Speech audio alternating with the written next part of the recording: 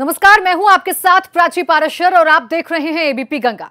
आज बात होगी उस समझदारी की, जिसकी उम्मीद कम से कम चर्चित चेहरों से तो की ही जा सकती है। और शायद इसमें कहीं ना कहीं बॉलीवुड सिंगर कनिका कपूर से चूक हुई है। यही वजह है कि अब उनकी मुश्किलें बढ़ती जा रही हैं। लंबे वक्त से क्वारंटीन हुई कनिका कपूर के एक इंस्टा पोस्ट में आई सफ़ाई ने उन पर सवाल खड़े कर दिए हैं।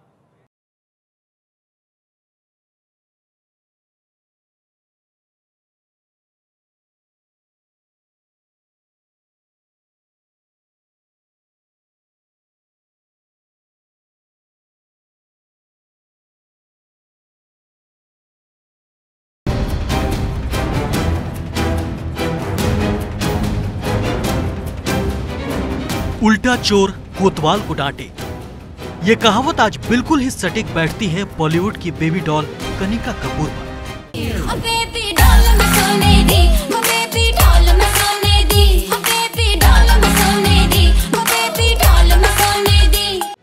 वजह है कनिका कपूर का वो खुलासा जो सोशल मीडिया के ज़रिए किया गया है। यही वजह है कि अब कोरोना गर्ल के नाम से पहचान बना चुकी कनिका कपूर पर मुश्किलें बढ़ गई हैं।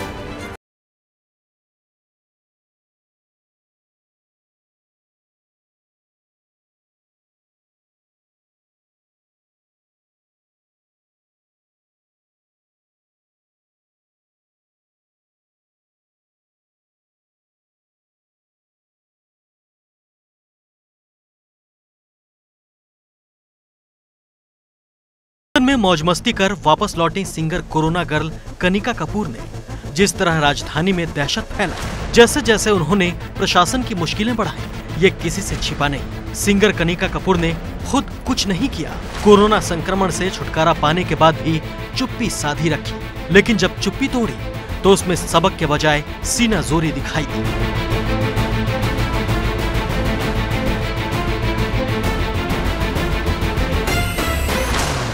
कोरोना से जंग जीतने के बाद प्रशासन को ही कटघरे में खड़ा करने वाली कनिका कपूर को अब सच का सामना करना ही पड़ेगा। अब सच और झूठ का खुलासा भी होगा। एयरपोर्ट पर जाँच न होने का जो इल्ज़ाम कनिका ने प्रशासन पर लगाया है उसका जवाब भी देना ही होगा। नहीं नहीं नोटिस तामील कराया है बयान वो अपना सोच समझ के फिर दर्ज कराएँगे। कोई आपने कोई आपने समय दिया है कि कब दर्ज कराएँगे? हाँ उनको समय दिया है। कितने दिन का? अब दो तीन दिन का समय दिया गया है जब वो अपना आएँगे बयान दर्ज कराने के लिए। वो थाने आएँगी? हाँ थाने के लिए उनको दिया गया। नोटिस किसने रिसीव किया? है कनिका कपूर जी ने रिसीव किया। रिसीव किया। हाँ। लंदन से लौटने के बाद कनिका कपूर ने खुद को सेल्फ आइसोलेशन में नहीं रखा और लखनऊ में कई पार्टियों में शामिल होती रही। और जब कनिका को क्वारंटीन किया गया तो जाँच के दौरान वो कोरोना वायरस से संक्रमित पाई गई। कई बार कोरोना की रिपोर्ट पॉजिटिव आने के बाद उन्होंने एक लंबी जंग लड़ी थी। इस खतरनाक वायरस के खिलाफ लंबी लड़ाई के बाद जीत भी मिली लेकिन किसी को नहीं पता था कि कनिका इस जीत के बाद जब चुप्पी तोड़ेंगी तो उनके कटघरे में प्रशासन ही होगा। कनिका कपूर ने रिसीव किया है। जो प्रतिवादी हैं उन्होंने रिसीव किया है। अच्छा। क्या बोली है वो कि कब आएँगी? कह रही मैं बात करके आऊँगी अपने लीगल से बात करने के बाद। तो क्या थाने पर बयान दर्ज होंगे आप फिर आएँगे? अब वो समय बताएगा उस हिसाब से। आपने उनको थाने पे बुलाया? हाँ मैंने तो थाने बुलाया। ठीक है एकदम बिल्कुल सही है। कनिका कपूर ने अब अपने ऊपर लगे तमाम आरोपों पर सफ़ाई दी है। तो घरेलू उड़ानों में उस वक्त हो रही स्क्रीनिंग पर भी सवाल खड़े किए हैं। इस पर दो से तीन दिन के अंदर में इस नोटिस के ज़रिए ही कनिका कपूर दो तीन दिन में अपना बयान सरोजिनी नगर थाने में दर्ज कराने जाएँगे। और इस तरीके से अगर कहा जाए कि कनिका कपूर जो सच्चाई होगी, वो सामने आएगी। कनिका कपूर पहली बार सामने आकर बताएँगी कि जब वो लंदन से मुंबई आई तो और मुंबई से जब लखनऊ आई तो किन किन लोगों से मिली?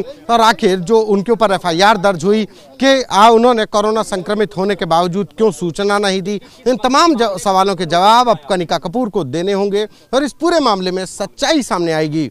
ये अलग बात है कि कनिका कपूर ने अपने इंस्टाग्राम सोशल मीडिया के पेज पर इन अपनी सफ़ाई भी दी है कि जब 10 मार्च को जब वो लंदन से मुंबई पहुँची तो वहाँ पर स्क्रीनिंग की गई, लेकिन होम क्वारंटाइन का नोटिस एडवाइजरी 18 मार्च को जारी की गई, लिहाजा उन्होंने खुद को होम क्वारंटाइन नहीं किया। 11 मार्च को वो लखनऊ आती हैं। 14 से 15 मार्च के बीच में वो यहाँ पर अपने करीबी दोस्तों के घर पर आयोजित पार्टी में शामिल होती हैं।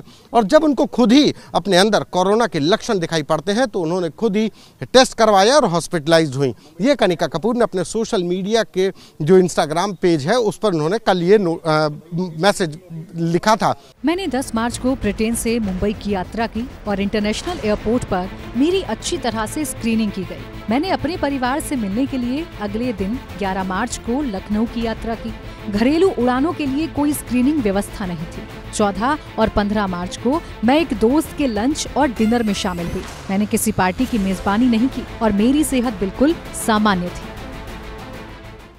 लखनऊ में कोरोना के नाम पर पहली अफरा तफरी मचाने वाली सिंगर कनिका कपूर को अब कानूनी प्रक्रिया से गुजरना होगा। सिंगर कनिका कपूर पर नगर थाने में एफआईआर दर्ज है। और आज लखनऊ पुलिस ने कनिका को बयान दर्ज कराने का नोटिस दे दिया है। पुलिस के द्वारा दिए गए इस नोटिस में 30 अप्रैल तक का वक्त दिया गया है।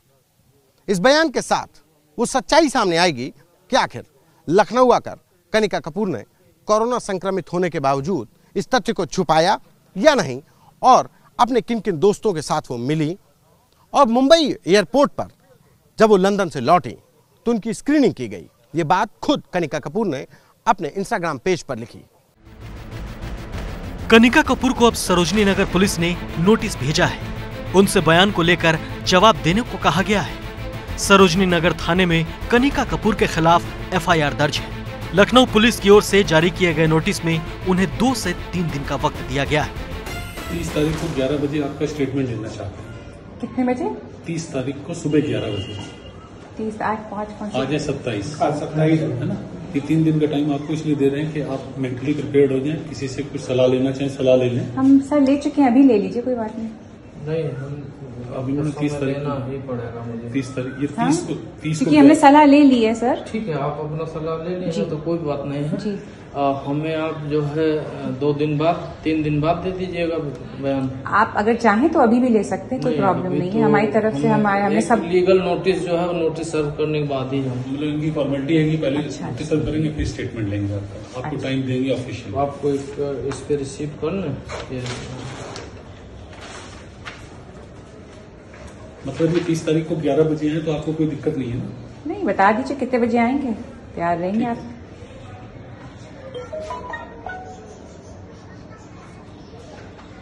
तो आज आप सिर्फ़ नोटिस देने आए हैं? ऐसे ही भिजवा देते यहाँ पर बेकार में नाटक होता है। फिर अफवाहें फैलेंगी।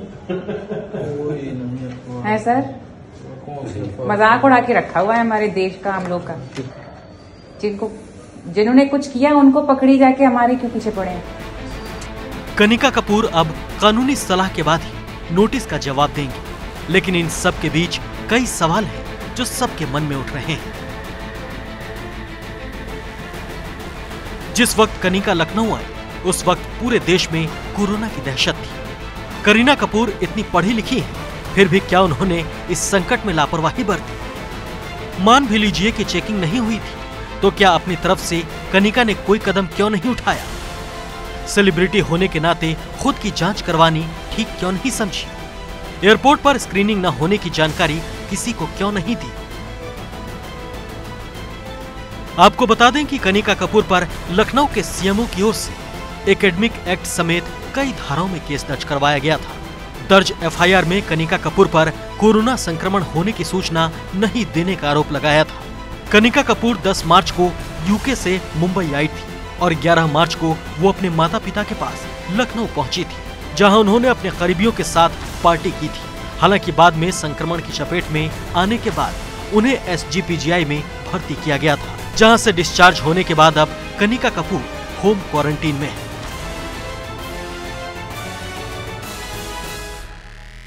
शिकंजा, कानूनी कसा गया? तो अब कनिका कपूर को जवाब भी कानूनी प्रक्रिया के तहत ही देने होंगे। लिहाजा 30 अप्रैल तक का वक्त कनिका कपूर को दिया गया है कि आखिर इस पूरे मामले की सच्चाई क्या है। कैमरा पर्सन मेजी हसन के साथ संतोष कुमार एबीपी गंगा। कनिका कपूर से जुड़ी एक अहम अपडेट ये भी है कि उन्होंने अपना ब्लड सैंपल दिया है और अगर टेस्ट रिपोर्ट सही हुई तो उनका प्लाज्मा कोरोना संक्रमित मरीजों के इलाज के लिए लिया जा सकता है। यहाँ एक बार फिर आपको वो बातचीत सुनवाते हैं जब कनिका कपूर के घर पर पुलिस नोटिस देने के लिए पहुँची थी। तारीख को 11 बजे आपका स्टेटमेंट लेना चाहते हैं। कितने बजे? 30 तारीख को सुबह 11 बजे। तीस आज पाँच आज है सत्ताईस। सत्ताईस। है ना? ये तीन दिन का टाइम आपको इसलिए दे रहे हैं कि आप मेंटली प्रिपेयर्ड हो जाएँ किसी से कुछ सलाह लेना चाहें सलाह ले लें। हम सर ले चुके हैं अभी ले लीजिए कोई बात नहीं। नहीं हम अभी तीस तारीख लेना को ही पड़ेगा मुझे। तीस तारीख ये हाँ? तीस को तीस को हमने सलाह ले ली है सर। ठीक है आप अपना सलाह ले। लीजिए तो कोई बात नहीं है। जी। आ, हमें आप जो है दो दिन बाद तीन दिन बाद दे दीजिएगा बयान। आप अगर चाहें तो अभी भी ले सकते हैं कोई प्रॉब्लम नहीं तो है हमारी तरफ़ से हमारे हमने सब लीगल नोटिस जो है वो नोटिस सर्व करने के बाद ही हम मतलब इनकी फॉर्मेलिटी है कि पहले अच्छा। नोटिस सर्व करेंगे फिर स्टेटमेंट लेंगे आपका। आपको टाइम देंगे ऑफिशियल आपको इस पे इस पे रिसीव कर लें मतलब ये तीस तारीख को 11 बजे है तो आपको कोई दिक्कत नहीं है ना? नहीं बता दीजिए कितने बजे आएँगे? तैयार रहेंगे आप।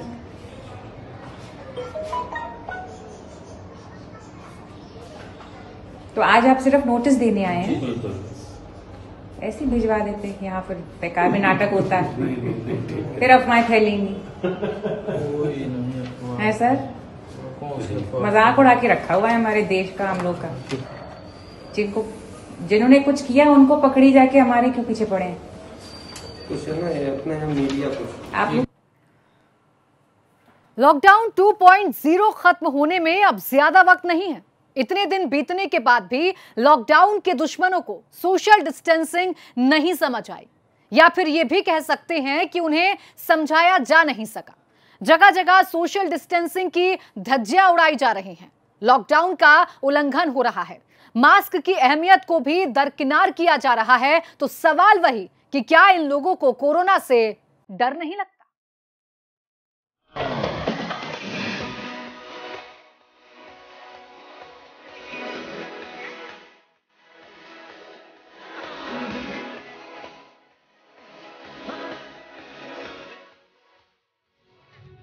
हिदायत बेकार है। नसीहत का फ़र्क नहीं पड़ा। खौफ और दहशत का मतलब बेमानी है। लॉकडाउन के इन दुश्मनों पर। दुनिया में कोरोना महामारी की तबाही का मंजर भी इन नासमझों को समझाने के लिए काफ़ी नहीं है। देश में बढ़ता मौत का आंकड़ा भी इनकी आँखों पर बंधी पट्टी नहीं खोल पा रहा है। लॉकडाउन को खत्म होने में महज चंद दिन बचे हैं, लेकिन उसकी गंभीरता को लॉकडाउन के दुश्मन समझना ही नहीं चाहते हैं। मेरठ में सोशल डिस्टेंसिंग की धज्जियाँ। मेरठ में सोशल डिस्टेंसिंग और लॉकडाउन का उल्लंघन अक्सर देखने को मिल रहा है। और एबीपी गंगा आपको लगातार ये तस्वीरें दिखा भी रहा है। तस्वीरें मेरठ के कचहरी पुल की हैं, जहाँ लगातार सोशल डिस्टेंसिंग की धज्जियाँ जमकर उड़ाई जा रही हैं। रोज की तरह यहाँ भीड़ भाड़ देखने को मिल रही है। जो दावत है, कोरोना से खतरनाक वायरस के लिए। एबीपी गंगा आज मेरठ के कचहरी पुल के पास पहुँचा है, जहाँ पर आप देख सकते हैं कि किस तरीके से लोग सोशल डिस्टेंसिंग और लॉकडाउन का उल्लंघन करते हुए दिख रहे हैं। दुकानों पे आप देखिए कि किस तरीके से भीड़ लगी हुई है। एक फिट की भी जगह नहीं छोड़ रखी उन्होंने एक दूसरे के बगल खड़े होने में। तो कहीं ना कहीं जो सोशल डिस्टेंसिंग है, जिसका अनुपालन करने के लिए प्रशासन, सरकार, डब्ल्यूएचओ लगातार गुजारिश कर रही है लोगों से, लेकिन मेरठ में ये तस्वीरें देखने को नहीं मिल रही हैं। यही वजह है कि इन तस्वीरों को देख करके मुख्यमंत्री ने खुद चिंता जताई और यहाँ पर सीनियर आईएएस अधिकारी को नोडल अधिकारी बनाकर भेजा ताकि ये तस्वीरें बाहर आना बंद हो और यहाँ पर सोशल डिस्टेंसिंग और लॉकडाउन का शत प्रतिशत पालन हो। यहाँ लोग दुकानों में एक दूसरे से सटे हुए खड़े दिखे। सड़कों और दुकानों पर भीड़ दिखी, जबकि सरकार, प्रशासन और डब्ल्यूएचओ लगातार अपील कर रहा है कि लोग सोशल डिस्टेंसिंग का पालन करें। बहुत ज़रूरी हो तभी घरों से निकलें, लेकिन लोग मानने को तैयार नहीं है। नोडल अधिकारी के दो दिन आ जाने के बावजूद भी आप देख सकते हैं एक बार फिर से कि मेरठ में ये तस्वीरें रुकने का नाम नहीं ले रही हैं और एक के बाद एक जगह से ऐसी तस्वीरें देखने को मिल रही हैं जहाँ पर सोशल डिस्टेंसिंग और लॉकडाउन की धज्जियाँ खुलेआम उड़ रही हैं। ऐसे में सवाल उठता है कि आखिरकार मुख्यमंत्री की बार बार गुजारिश के बावजूद भी लोग क्यों नहीं मान रहे हैं? या फिर यह कहा, ये कहा जाए कि जो प्रशासन है, वो लॉकडाउन और सोशल डिस्टेंसिंग को पालन कराने में पूरी तरह नाकाम साबित हो रहा है। हरदोई में पैसे निकालने की भीड़। बैंक के बाहर मौजूद इस भीड़ को देखिए। देखकर कोई नहीं कह सकता कि पूरे देश में लॉकडाउन है। और तो और, उस लॉकडाउन के बारे में हरदोई के लोगों को जरा भी कुछ पता है। भीड़ तो भीड़ है साहब। लेकिन क्या बैंक के अंदर बैठे पढ़े लिखे अधिकारियों और कर्मचारियों को भी सोशल डिस्टेंसिंग का पता नहीं है? साहब तो इसी कमरे में एक एक करके लोगों को बुला रहे हैं। लेकिन बाहर कोरोना का खतरा कितना बढ़ रहा है, इससे उन्हें कोई मतलब नहीं है। हरदोई के ज़िले के कई गाँव में हालात यही है। गाँव से लेकर कस्बे तक बैंकों पर हर दिन भीड़ लग रही है और सोशल डिस्टेंसिंग की धज्जियाँ उड़ा रही है। ना तो बैंक अधिकारियों को इस बात की चिंता है और न ही प्रशासनिक अधिकारी कोई कदम उठा रहे हैं। सोशल डिस्टेंसिंग फोर्सफुल्ली लागू नहीं कराया जा सकता है। ये एक सोशल फेनामेना है जिससे सब व्यक्ति को जागरूक होना पड़ेगा, हर व्यक्ति को कदम कदम पर पुलिस एक एक व्यक्ति का हाथ पकड़ के उनको सोशल डिस्टेंसिंग के लिए महीने एक एक मीटर दो दो मीटर दूर कराना ये बहुत बड़ा टास्क है। हमको और आपको जागरूक होना पड़ेगा और हमको आपको जागरूक लोगों को कराना पड़ेगा, तब जाकर के मेंटेन हो पाएगा। लखीमपुर खीरी में कोरोना पार्टी लखीमपुर खीरी में इस नज़ारे को कोरोना पार्टी कहना गलत नहीं होगा। खुलेआम सोशल डिस्टेंसिंग की धज्जियाँ उड़ाती ये तस्वीरें मैगलगंज की हैं, जहाँ एसओ साहब अपने सामने ही सामाजिक दूरी यानी सोशल डिस्टेंसिंग को भूल बैठे। सैकड़ों को निर्देश दे रहे हैं, लेकिन उचित दूरी का मतलब नहीं समझा पा रहे हैं। पहचान ही यहाँ की रसगुल्ला की दुकानें हैं, रसगुल्ला है। तो रसगुल्ला वालों से हम ज़्यादा अनुरोध करेंगे कभी थोड़ा धैर्य बनाए रखें। जैसे कोई आदेश निर्देश होगा, हम आप सबकी दुकानें खुलवा देंगे। कानपुर में लॉकडाउन के दुश्मनों को सिखाया सबक। कानपुर में लगातार कोरोना बम फट रहे हैं। कोरोना संक्रमित मरीजों का आंकड़ा लगातार बढ़ता ही जा रहा है। प्रशासन सख्ती भी दिखा रहा है, लेकिन लॉकडाउन के दुश्मन रोड पर निकलने से बाज नहीं आ रहे, जिस पर पुलिस भी उन्हें सबक सिखा रही है। Bureau report, ABP Ganga.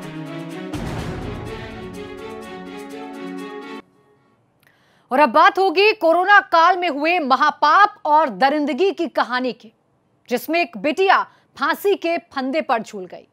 भरी पंचायत में गैंगरेप पीड़िता को बुलाया गया। उस पंचायत में आरोपियों को सजा भी सुनाई गई, लेकिन उस पंचायत के बाद सीधे खबर आई पीड़िता की मौत की। अब सवाल यह है कि क्या पंचायत ही गुनहगार है उस गैंगरेप पीड़िता की? क्या पंचायत ने ही ली है उसकी जान?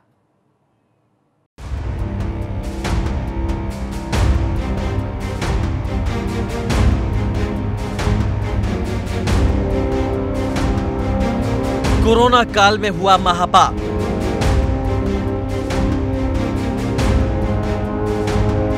मासूम की गुनहगार पंचायत।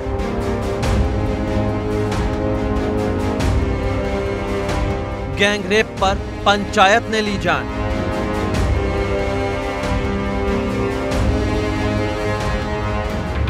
क्या अलीगढ़ में महापाप पर बैठी पंचायत? उस मासूम की गुनहगार है। जो कोरोना काल में दरिंदगी का शिकार हुई। दादो थाना क्षेत्र में हुई दरिंदगी पर बैठी पंचायत और पंचायत का वो फरमान उस बेटी के लिए अन्याय साबित हुआ। क्या दरिंदगी की इतनी खौफनाक दास्ता पर पाँच जूते की सजा काफ़ी है? क्या ये सजा हैवानों के हौसलों को बुलंद नहीं करती? आरोपियों को पाँच पाँच जूते मारने की सुनाई थी सजा। जरा सोचिए। एक गाँव की बेटी के साथ हैवानियत होती है। हैवानियत के खेल के बाद आनंद फानन में गाँव में पंचायत बैठती है। पंचायत में उस मासूम को भी बुलाया जाता है जिसका सार्वजनिक तौर पर नाम लेना भी कानून के खिलाफ है। भरी पंचायत में गैंगरेप पीड़िता को बुलाया गया। इस बच्चे के साथ में दुष्कर्म हुआ। चार पाँच लड़के बताए गए कि सामने तो हंसनाए हो आज फौजी ने क्या लगा फौजी क्या नाम है उनका पूरा? नेत्रपाल फौजी। अच्छा उनके घर पे पंचायत? उनके घर पे। हाँ फिर? उन्होंने पंचायत की। काला मुँह करके उनके वो निकाल दे। और फिर वो अपने डिग्री जिस बिटिया के साथ दरिंदगी का खेल खेला गया उसको सरेआम बुलाकर उसके जख्मों को इस कदर कुरेदा गया। छोटी सी सजा के बाद आरोपियों को रिहा कर दिया गया है। एक चेतावनी देकर उन्हें छोड़ दिया गया। पंचायत के फैसले के बाद की थी खुदकुशी। पंचायत के हुक्म की तामील हुई, आरोपियों को सजा दी, लेकिन पुलिस को कानो कान इस अदालत की जानकारी नहीं हुई। और जब पता चला, तब तक एक बेटी फांसी के फंदे पर झूल चुकी थी। और इस खौफनाक खबर के साथ ही पूरे गाँव में सनसनी फैल गई। गैंगरेप पीड़िता की खुदकुशी का मामला। पंचायत के बेतु के फैसले के बाद गैंगरेप पीड़िता ने फांसी लगाकर खुदकुशी कर ली। आरोप है कि पंचायत ने गैंगरेप के आरोपियों को पाँच पाँच जूते मारने और गाँव में मुँह काला कर घुमाने की सजा सुनाई थी। और उसके बाद पुलिस मौके पर गई, वहाँ से जाँच किया है।